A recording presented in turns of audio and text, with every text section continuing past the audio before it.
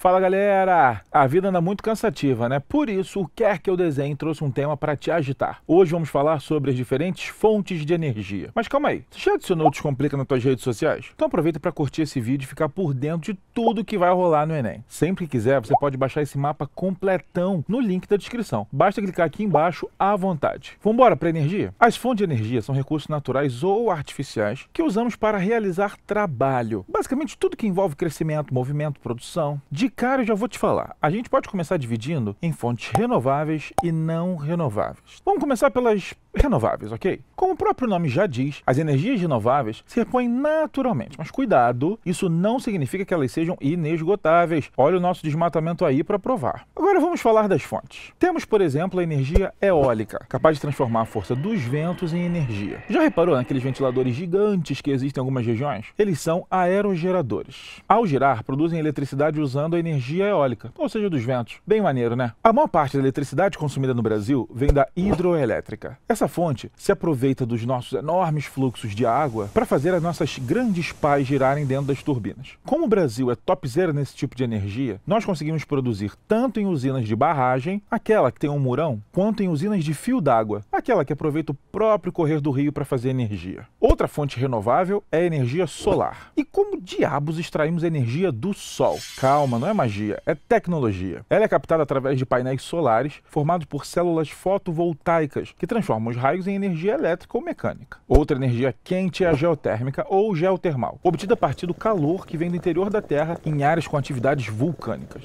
E aí? que é isso? A energia das ondas ou ondomotriz provém do aproveitamento das ondas oceânicas. Até daqui a gente pode tirar energia. Já a maremotriz é uma forma de geração de eletricidade obtida a partir das alterações das marés, por barragens ou através de turbinas submersas que usam a própria corrente marítima. Por último, temos a biomassa, capaz de gerar energia através de elementos vivos, como animais e plantas. Temos várias maneiras de aproveitar essa fonte, mas é no nosso etanol da cana que a gente manda muito. Finalmente chegamos nas fontes de energia não renováveis. Quando essa reserva se esgota, elas não podem ser regeneradas em nosso tempo de vida e são considerados como não renováveis tanto os combustíveis fósseis como a energia nuclear. Esses combustíveis fósseis são formados por processos naturais, como a decomposição de vários organismos soterrados. Esses combustíveis fósseis contêm alta quantidade de carbono usados para alimentar a combustão. E mesmo sendo poluente, olha o aquecimento global aí, é a matriz energética mais usada no mundo. E ele é presente, por exemplo, no carvão mineral, no gás natural, no xisto, no petróleo. A energia nuclear é um tipo de energia liberada quando acontece uma reação nuclear. Isso acontece quando o núcleo de determinados átomos se transforma, provocando uma fissão ou divisão do núcleo atômico. Nosso amigo urânio costuma ser muito usado na obtenção dessa energia. E todo mundo sempre carrega aquele medinho de um acidente nessas usinas, etc.